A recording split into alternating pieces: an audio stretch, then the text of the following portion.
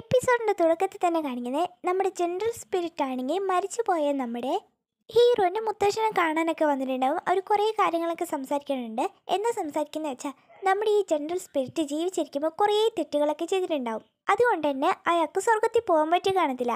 ഇതിനെന്താ പരിഹാരം എന്ന് ചോദിച്ചിട്ട് നമ്മുടെ മുത്തശ്ശന്റെ അടുത്ത് വന്നണം അപ്പം നമ്മുടെ മുത്തശ്ശനും ഹെൽപ്പ് ചെയ്യാന്നൊക്കെ പറയണം. പക്ഷേ അതിനു മുമ്പ് തന്നെ നമ്മുടെ മുത്തശ്ശൻ മരിച്ചു പോയോണ്ട് ഈ ജെൻഡർ സ്പിരിറ്റ് ആണെങ്കിൽ നമ്മുടെ ഹീറോ തേടി വന്നേക്കുവാണ്. ഇവനെ കൊണ്ട് ഇനി എന്തെങ്കിലും പറ്റുള്ളൂ എന്നും പറഞ്ഞുകൊണ്ടാണ് ഇവന്റെ അടുത്തോട്ട് വന്നേക്കുന്നത് എന്നിട്ട് നമ്മുടെ ചാവൂനും കുറേ കാര്യങ്ങളൊക്കെ പറഞ്ഞ് മനസ്സിലാക്കാൻ നോക്കുന്നുണ്ട്. അവനോട് ഇങ്ങനെയൊക്കെയാണ് പറയുന്നത്. ഭൂമിയിൽ അലഞ്ഞു നടക്കുന്ന പ്രേതങ്ങളെ അവരുടെ ആഗ്രഹങ്ങൾ സഹിച്ച് മുകളിലോട്ട് അയക്കാൻ നിന്നെ കൊണ്ടേ പറ്റത്തുള്ളൂ. അതിനൊക്കെ നീ ഭാഗ്യം ചെയ്യണം അങ്ങനെയൊക്കെ പറയാണ്. പക്ഷെ നമ്മുടെ ഹീറോ ആണെങ്കിൽ ഇത് തന്നെയാണ് എന്റെ മുത്തശ്ശനും ചെയ്തത്. എന്നിട്ട് അവസാനം അങ്ങേർക്ക് എന്താ സംഭവിച്ചത് അതേപോലെ അവൻ എനിക്ക് ഒട്ടും ആഗ്രഹമില്ല അതേപോലെ നിന്നെപ്പോലുള്ള പ്രേതങ്ങളെ ഞാൻ വിശ്വസിക്കത്തില്ല. മനുഷ്യന്മാരെ ഞാൻ വിശ്വസിക്കാൻ പോകുന്നില്ല എന്ന് പറഞ്ഞിട്ട് അവൻ അവിടെ നിന്ന് പോവാണ്. ഇവൻ ഇവിടെ നിന്ന് പോയത് നമ്മുടെ മൂന്ന് പ്രേതങ്ങൾ അങ്ങോട്ടേക്ക് വന്നിട്ട് പറയാണ് ഇതും തന്നെ ഡ്രാമയിൽ അഭിനയിച്ചുകൊണ്ടിരിക്കുമ്പോഴേ മരിച്ചു പോയതാണോ? ഈ കോലത്തെ വന്നേക്കുന്നത് എന്നൊക്കെ പറഞ്ഞ് നമ്മുടെ ജെൻഡർ സ്പിരിറ്റിനെ ഭയങ്കരമായിട്ട് കളിയാക്കാണ് ഡയറക്ടർ മാവരെ വന്നിട്ട് പറയും നീ ഈ കോലത്തെ വരുന്ന കണ്ടിട്ട് തെരുവിലെ പട്ടികളൊന്നും നിന്നെ കടിക്കാൻ ഓടിച്ചില്ലേ? എന്ന് പറഞ്ഞിട്ട് ഭയങ്കരമായിട്ടിട്ട് കളിയാക്കാണ് ഇയാൾ നല്ല സൈലന്റ് ആയിട്ട് ഇതെല്ലാം കേൾക്കുവാണ്. അതല്ല നിനക്ക് എത്ര വയസ്സായി എന്ന് ചോദിക്കുമ്പോൾ അയാളും പറയും ഞാൻ ജനിച്ചിട്ട് തന്നെ രണ്ടായിരം വർഷമായി എന്ന് പറയാണ്. അപ്പോൾ ഇവരും ഓ കണ്ടാലും പറയും രണ്ടായിരം വർഷമായിട്ട് ജനിച്ച ഒരാളെ എന്നൊക്കെ പറഞ്ഞ് കളിയാക്കിക്കൊണ്ടിരിക്കുമ്പോൾ നമ്മുടെ ജനറൽ സ്പിരിറ്റ് ആണെങ്കിൽ ഇനിയും ഉണ്ടായിരുന്ന പറ്റത്തില്ലെന്ന് പറഞ്ഞിട്ട് നമ്മൾ ഡയറക്ടർമാർക്കിട്ട് ഒറ്റയടി കൊടുക്കാണ് പാവം അതും തെറിച്ചങ്ങ് പോവാണ്. ഇത് കണ്ടത് ബാക്കി രണ്ട് പ്രേതങ്ങളും ഇവനെ അറ്റാക്ക് ചെയ്യാന്ന് പറഞ്ഞ് പോകുമ്പോഴത്തേക്കിനും അവരെ അങ്ങ് പറപ്പിക്കുവാണ് നമ്മുടെ ജനറൽ സ്പിരിറ്റ്.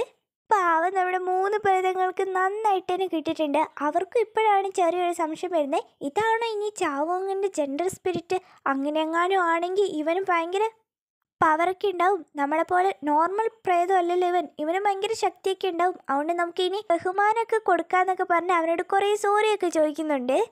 അത് കഴിഞ്ഞിട്ട് നമ്മുടെ ഹീറോയിനെയാണ് അടിക്കുന്നത്. അവൾ ഈ പ്രാവശ്യവും ഡിറ്റക്റ്റീവ് ആവാൻ വേണ്ടിയിട്ട് ഒരു ഫോമൊക്കെ അപ്ലൈ ചെയ്തിട്ടുണ്ടാവും. പക്ഷേ നമ്മുടെ ജീസുവിന്റെ അച്ഛൻ അതും റിജക്റ്റ് ആക്കി കളഞ്ഞാണും അതിന്റെ ശോകത്തിലിരിക്കുകയാണ് ഇവൾ.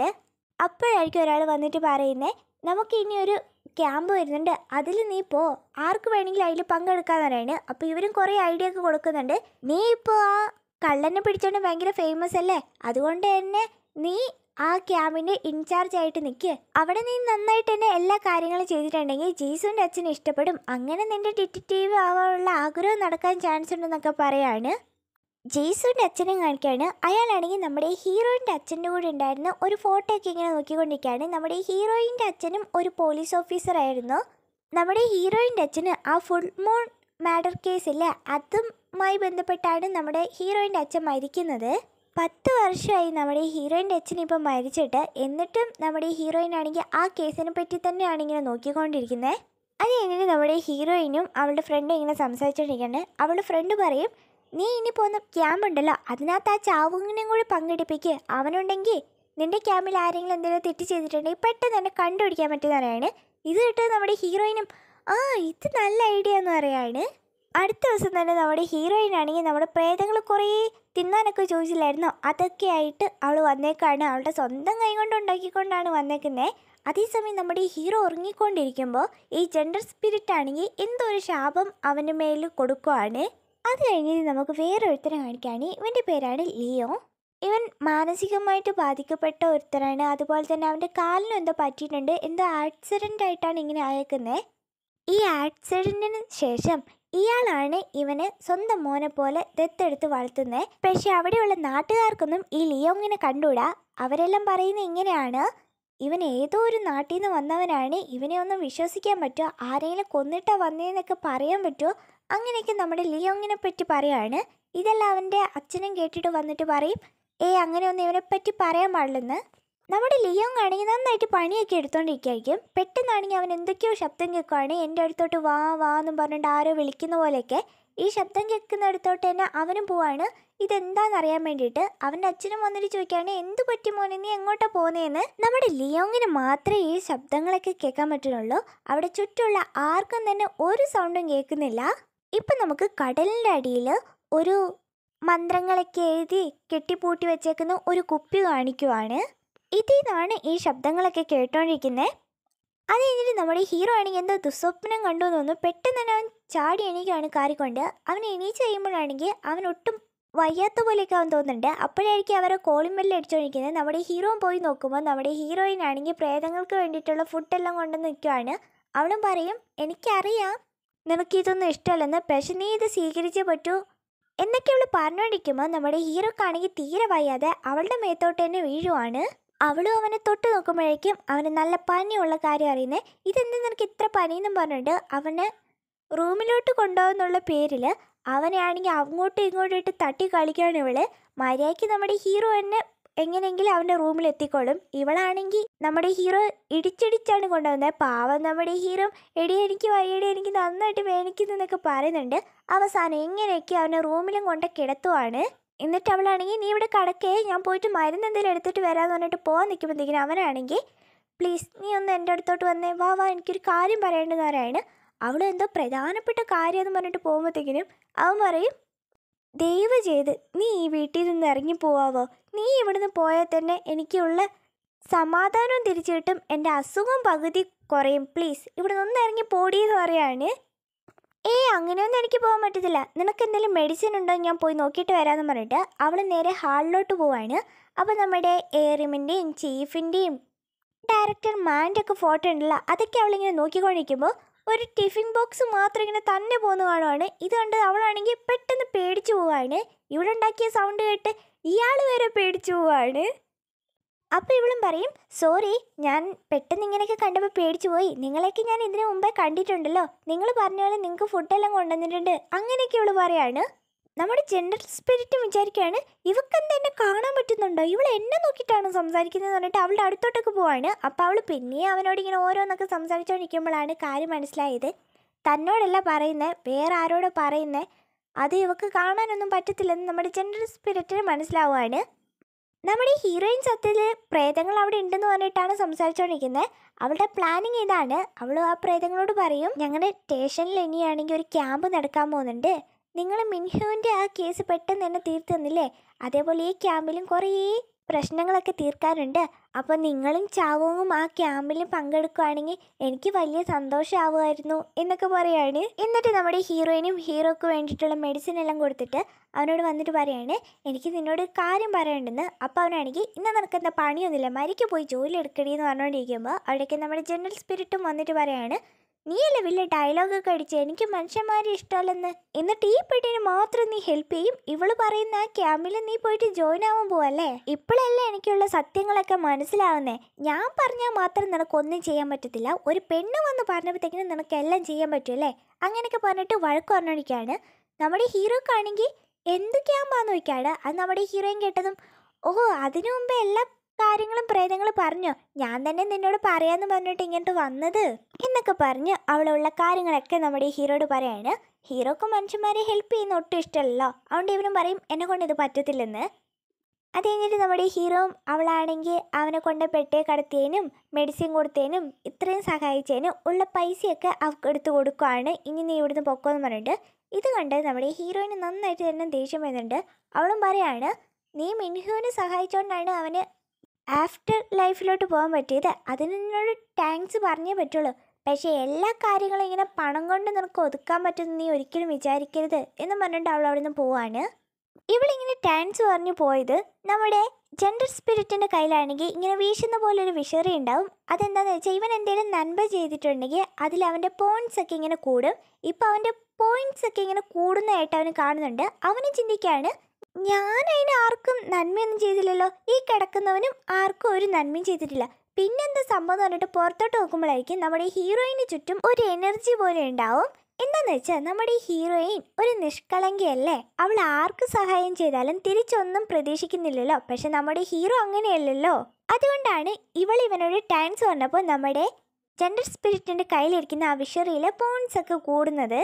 ഇപ്പോൾ ഇവരുടെ നാട്ടിലാണെങ്കിൽ പണ്ട് ആ ഫുൾ പോൺ മാറ്റർ നടന്ന പോലെ തന്നെ ഏതൊരു കൊലപാതകം നടന്നിട്ടുണ്ട്. അതിനെപ്പറ്റി അറിയാനാണ് ഇപ്പോൾ നമ്മുടെ ഹീറോയിൻ വന്നേക്കുന്നത് ഇവക്ക് ഈ കേസിനോടൊക്കെ ഭയങ്കര താല്പര്യമാണ്. കാരണം എന്താണെന്ന് വെച്ചാൽ നമ്മുടെ ഹീറോയിന്റെ അച്ഛനെ കൊന്നത് അതിൽ ആ സീരിയൽ കില്ലറായിരിക്കും ആ കില്ലറാണെങ്കിൽ പത്ത് വർഷം മുമ്പ് തന്നെ മരിച്ചു പോയിട്ടുണ്ടാകും പക്ഷേ അവൻ മരിച്ചു പോയെന്ന് നമ്മുടെ ഹീറോയിൻ ഒട്ടും വിശ്വസിക്കുന്നില്ല. അതുകൊണ്ട് ഈ കേസിനെ പറ്റി എന്ത് വന്നാലും അവൾ പെട്ടെന്ന് തന്നെ അന്വേഷിക്കും. അതുകൊണ്ട് അതിനെപ്പറ്റിയൊക്കെ ഇങ്ങനെ ചോദിച്ചുകൊണ്ടിരിക്കുകയാണ് ഇവിടെ നമ്മുടെ പ്രേതങ്ങൾ മൂന്ന് പേർക്കും ഭയങ്കര സന്തോഷമാണ് കാരണം നമ്മുടെ ഹീറോയിൻ കുറേ ഫുഡൊക്കെ മേടിച്ചുകൊണ്ട് വന്നിട്ടില്ലേ? അതൊക്കെ ഒന്ന് ടേസ്റ്റ് ചെയ്ത് നോക്കാമെന്ന് പറഞ്ഞിട്ട് വാലോട്ടിട്ടതും അതിന്റെ ടേസ്റ്റൊക്കെ ഇതിനു മുമ്പേ ആരോ രുചിച്ച് നോക്കിയിട്ടുണ്ട്. ആരാന്ന് ഇവർക്ക് മനസ്സിലായി. ആ ജെൻഡർ സ്പിരിറ്റാന്ന് ഇതെല്ലാം കണ്ടിട്ടും കേട്ടിട്ട് സഹിക്കാൻ പറ്റാതെ നമ്മുടെ ഡയറക്ടർമാരൊക്കെ ഒച്ചത്തിൽ പറയാണ് ഇവൻ മാത്രമേ ഉള്ളൂ ഈ വീട്ടിൽ നമ്മളെയൊക്കെ പിന്നെ എന്താ? എന്നൊക്കെ ഭയങ്കര ഒച്ചത്തിൽ പറയാണ്. അപ്പം നമ്മുടെ ചീഫും പറയും എട മിണ്ടാതിരിക്കുക അവനെങ്ങാനും ഉള്ളിലോട്ട് വന്നിട്ടുണ്ടെങ്കിൽ നമ്മളെല്ലാം കൊന്നു കളയും. അവൻ ആരാന്ന് നിനക്ക് അറിയാലോന്ന് ചോദിക്കുകയാണ് അവൻ ആരായാലും എനിക്കെന്താ? ഈ കമ്പനിയിൽ നമ്മളും ജോലി ചെയ്യുന്നില്ലേ? അപ്പം നമുക്കും എല്ലാ അവകാശങ്ങളും ഉണ്ട് ഞാനിത് ചോദിക്കുന്നൊക്കെ പറഞ്ഞുകൊണ്ടിരിക്കുമ്പോൾ നമ്മുടെ ജെൻഡർ സ്പിരിറ്റ് ആണെങ്കിൽ അവിടെ നിന്ന് ഒച്ച ഉണ്ടാക്കിയത്. ഈ ഡയറക്ടർമാരാണെങ്കിൽ പെട്ടെന്ന് പേടിച്ചൊളിക്കുവാണ് ജെൻഡർ സ്പിരിറ്റ് ആണെങ്കിൽ നേരെ നമ്മുടെ ഹീറോയിന്റെ അടുത്ത് വന്നിട്ട് പറയാണ് എടാ ഇത് നോക്കിക്കേ എന്റെ വിഷറിയിൽ ഇപ്പോൾ എന്തോരം എനർജിയാണ് കിട്ടിയേക്കുന്നതെന്ന് നോക്കിയാൽ ഇതിനെല്ലാം കാരണം ആ പെണ്ണാണ്. എന്നൊക്കെ ഇയാൾ പറഞ്ഞുകൊണ്ടിരിക്കുമ്പോൾ നമ്മുടെ ഹീറോ ആണെങ്കിൽ പ്ലീസ് എന്റെ അടുത്തുനിന്നൊന്ന് പോവാൻ എനിക്ക് തീരെ വയ്യ ഞാനൊന്ന് ഉറങ്ങട്ടെ എന്ന് പറയാണ്. അയ്യോ ചാവും. നീ എത്രയൊക്കെ മെഡിസിൻ കഴിച്ചിട്ട് ഒരു കാര്യമില്ല കേട്ടോ കാരണം ഞാനാണ് നിനക്ക് ഈ ശാപം തന്നതെന്ന് പറയാണ്. എന്ത് നിങ്ങളാണ് എന്നെ ഈ അവസ്ഥയിലാക്കി എന്തിന് എന്നോട് ഇങ്ങനെയൊക്കെ ചെയ്തു തന്നിട്ട് വഴക്കു പറയാൻ വേണ്ടിയിട്ട് വാങ്ങുമ്പോഴത്തേക്കും ഇയാളും പറയും നിർത്തലേ ആദ്യം. നേരത്തെ ഞാൻ പറയുന്നത് കേട്ടിരുന്നെങ്കിൽ ഇങ്ങനെ എന്തെങ്കിലും സംഭവിക്കായിരുന്നോ ഇനിയെങ്കിലും ഞാൻ പറയുന്നത് കേൾക്കണമെന്ന് പറഞ്ഞിട്ട് അയാൾ കൊടുത്ത ശാപമാണെങ്കിൽ തിരിച്ച് എടുക്കുവാണ്. അപ്പോൾ തന്നെ നമ്മുടെ ഹീറോക്കും അസുഖങ്ങളൊക്കെ മാറുവാണ്. ആ ഇനി ഞാൻ പറയുന്നത് കേൾക്കുന്നു പറഞ്ഞിട്ട് പറയാൻ തുടങ്ങാണ് എന്റെ ഈ വിഷറിയിലെ ഈ കാണുന്ന പോയിന്റ്സ് മൊത്തം കൂടിയിട്ടുണ്ടെങ്കിൽ എനിക്ക് സ്വർഗത്തിൽ പോകാൻ പറ്റും. എനിക്കിപ്പോൾ ഈ പോയിന്റ്സ് ഒക്കെ ഇച്ചിരി കൂടാൻ കാരണം അവളാണ്. അവൾ ഈ ടാങ്ക്സ് പറഞ്ഞുകൊണ്ടാണ് എനിക്ക് ഇത്രയൊക്കെ ആയെന്ന് പറയുന്നത്. അപ്പോൾ നമ്മുടെ ഹീറോ അവളോ? അവളത്ര സ്പെഷ്യലൊന്നും അല്ലല്ലോ അതിനൊന്ന് ചോദിക്കുമ്പോൾ ഇയാളും പറയും നീ വിചാരിക്കുന്ന പോലെയൊന്നുമല്ല അവൾക്ക് ചുറ്റും സെവൻ സ്റ്റാർ എനർജി ഉണ്ട്. അതുകൊണ്ടാണ് എന്റെ ഈ പോയിന്റ്സ് ഒക്കെ പെട്ടെന്ന് ഇൻക്രീസ് ആവുന്നത്. അവളിൽ എന്തൊക്കെയോ ഉണ്ടെന്നൊക്കെ പറയാണ്. ഒന്നും മനസ്സിലാവാത്ത നമ്മുടെ ഹീറോ ആ ശരി. എന്തൊക്കെയുണ്ടെങ്കിലും നിങ്ങൾ എന്താ ഇപ്പോൾ ഉദ്ദേശിക്കുന്നതെന്ന് നോക്കിയാണ് ഞാൻ നേരത്തെ പറഞ്ഞ പോലെ നീ പ്രേതങ്ങളെ ഒന്നും മുകളിലോട്ടൊന്നും അയക്കേണ്ട. നീ ഇത്ര മാത്രം ചെയ്താൽ മതി. ആ പെണ്ണ് പറഞ്ഞ പോലെ ആ ക്യാമ്പിൽ പോയിട്ട് നീ ജോയിൻ ആവുക. എന്നിട്ട് അവൾക്ക് കുറേ സഹായങ്ങളൊക്കെ ചെയ്യുക അപ്പോൾ അവൾ നിന്നോട് കുറേ ടാൻസും പറയും. അങ്ങനെ എന്റെ മിഷൻ എല്ലാം കംപ്ലീറ്റ് ആയി കഴിഞ്ഞാൽ എനിക്ക് സ്വർഗത്തിൽ പോവാം. അതോടെ നിനക്കൊരു പ്രശ്നമില്ല എനിക്കൊരു പ്രശ്നമില്ല അപ്പോൾ നമ്മുടെ ഈ ഹീറോ പറയും ആ നിങ്ങളുടെ ഐഡിയ ഒക്കെ നല്ലതാ. പക്ഷെ ഞാൻ ഇതിനൊന്നും ഒരിക്കലും സമ്മതിക്കാൻ പോകുന്നില്ല എന്ന് പറഞ്ഞിട്ട് പോവാണ് ഇവൻ ഇങ്ങനെ പറയാൻ കാരണം ഇവൻ ഇതൊക്കെ ചെയ്തിട്ട് അവനൊന്നും കിട്ടാനില്ലല്ലോ. അതുകൊണ്ടാണ് അത് കഴിഞ്ഞിട്ട് ആണ് കാണിക്കുന്നത്. അവിടെ നമ്മുടെ ലീ ആണെങ്കിൽ അവന്റെ മാജിക് ഇങ്ങനെ കാണിച്ചുകൊണ്ടിരിക്കുകയാണ് ഇവൻ ചെയ്യുന്ന ഓരോ മാജിക് കാണുമ്പോൾ നമ്മുടെ ഹീറോക്കാണെങ്കിൽ ഒട്ടും സഹിക്കാൻ പറ്റുന്നില്ല. അവന് വിചാരിക്കുകയാണ് ആരും സഹായിക്കാനില്ലാതെ ഇവൻ എങ്ങനെ ഈ ട്രിക്കൊക്കെ പഠിച്ച് എവിടെ നിന്ന് നീ പഠിക്കുന്നതെന്നൊക്കെ പറഞ്ഞിങ്ങനെ ചിന്തിച്ചുകൊണ്ടിരിക്കുമ്പോൾ അവിടേക്ക് നമ്മുടെ ജെൻഡർ സ്പിരിറ്റ് വരുവാണ് ഇവൻ എവിടെ പോയാലും പുറകെ വരുവാണ് ഇയാൾ എന്തെല്ലാം പറഞ്ഞിട്ട് നമ്മുടെ ഹീറോ അതിനൊന്നും സമ്മതിക്കുന്നില്ല. അവന് പറയാണ് നിങ്ങളിങ്ങനെ എന്റെ പുറകെ നടന്നിട്ട് ഒരു കാര്യമില്ല. ഞാൻ എന്തായാലും സമ്മതിക്കാൻ പോകുന്നില്ല. എന്ന് പറഞ്ഞിട്ട് അവന് നേരെ സ്റ്റേജിലോട്ട് കയറുവാണ്. നമ്മുടെ ഹീറോ സ്വന്തമായിട്ടൊന്നും ചെയ്യത്തില്ലല്ലോ. എപ്പോഴത്തെ പോലെ പ്രേതങ്ങളെ വെച്ചാണ് മാജിക് ഷോ ഒക്കെ നടത്തിക്കൊണ്ടിരിക്കുന്നത്. എല്ലാം തന്നെ നന്നായിട്ട് പോകുന്നുണ്ട്. ഓഡിയൻസിനൊക്കെ ഭയങ്കരമായിട്ട് ഇഷ്ടപ്പെടുന്നുണ്ട്. എല്ലാം ഇങ്ങനെ പൊക്കോണ്ടിരിക്കുമ്പോൾ നമ്മുടെ ജെൻഡർ സ്പിരിറ്റ് ആണെങ്കിൽ അവന് പിന്നെയും ആ ശാപം കൊടുക്കുകയാണ് അത് അവന്റെ മേലിൽ വീണതും അവനാണെങ്കിൽ പെട്ടെന്ന് വയറ്റിനുള്ളിൽ എന്തൊക്കെയോ ആവുന്ന പോലെ തോന്നുന്നുണ്ട്. പാവ അവിടെ ഇരിക്കുവാണ്. നമ്മുടെ ഹീറോക്കാണെങ്കിൽ ഒന്നും ശ്രദ്ധിക്കാൻ പറ്റുന്നില്ല. എന്തൊക്കെയോ ആവുന്നുണ്ട് തീരെ പറ്റുന്നില്ല. പ്രേതങ്ങൾ ചോദിക്കുകയാണ് എന്താണ് തനക്ക് പറ്റിയ? ഒരു കുഴപ്പമില്ലല്ലോ എന്ന്. നമ്മുടെ ഹീറോക്കാണെങ്കിൽ ഇപ്പോൾ അവന്റെ അവസ്ഥയാണെങ്കിൽ ആരോട് പറയാനും പറ്റുന്നില്ല. പെട്ടെന്ന് അവൻ ഇങ്ങനെ ഒച്ച ഉണ്ടാക്കിയതും ആ തീയൊക്കെ ആണെങ്കിൽ അവന്റെ ബാക്കിൽ കൂടെ കത്താൻ തുടങ്ങാണ് പാവം നമ്മുടെ ഹീറോ ആണെങ്കിൽ വേദനിച്ചിട്ട് അങ്ങോട്ടും ഇങ്ങോട്ടും ഓടിക്കൊണ്ടിരിക്കുമ്പോൾ ഓഡിയൻസ് ഒക്കെ ആണെങ്കിൽ ഇതുവരെ മാജിക്കാന്ന് വിചാരിച്ചിട്ട് ഏയ് നല്ല രസമുണ്ട് നല്ല രസമുണ്ടെന്ന് പറഞ്ഞുകൊണ്ടിരിക്കുകയാണ് പാവം നമ്മുടെ ഹീറോക്കാണെങ്കിൽ നിൽക്കാനും പറ്റുന്നില്ല ഇരിക്കാനും പറ്റാത്ത അവസ്ഥയാണ്. ഒരു വിധത്തിൽ കുറേ ആൾക്കാരൊക്കെ കൂടി നമ്മുടെ ഹീറോന്റെ തീയൊക്കെ അണച്ചു വിടുവാണ്. നമ്മുടെ ഹീറോ എല്ലാ ആൾക്കാരുടെ മുന്നിൽ നാണം കെട്ടി കാണും. അതുമാത്രമല്ല ഇതെല്ലാം ലൈവ് ഷോയും കൂടിയാണ്. ഇവിടെ നാണം കെട്ടതെന്നും സഹിക്കാൻ പറ്റാതെ നമ്മുടെ ഹീറോ ആണെങ്കിൽ ഇങ്ങനെ കാറൊക്കെ ഓടിച്ചുകൊണ്ട് പോകുമ്പോൾ വണ്ടിക്കകത്തിരിക്കുന്ന പ്രേതങ്ങൾക്ക് ആണെങ്കിൽ ഇവിടെ നടന്നതൊക്കെ ഓർത്ത് ചിരി സഹിക്കാൻ പറ്റുന്നില്ല. അതുമാത്രമല്ല ഈറ്റിങ്ങൾ നാലെണ്ണം ആണെങ്കിൽ ചുമ്മാ ഇരിക്കാതെ ഫയർ ഫയർ എന്ന് പറഞ്ഞിട്ട് ഒരു പാട്ട് വരെ പാടി നമ്മുടെ ഹീറോ ദേഷ്യപ്പിടിപ്പിച്ചുകൊണ്ടിരിക്കുകയാണ് നമ്മുടെ ഹീറോ ആണെങ്കിൽ ഇതൊന്നും ശ്രദ്ധിക്കാതെ നല്ലോണം തന്നെ കൺട്രോൾ ചെയ്തിരിക്കുവാണ്.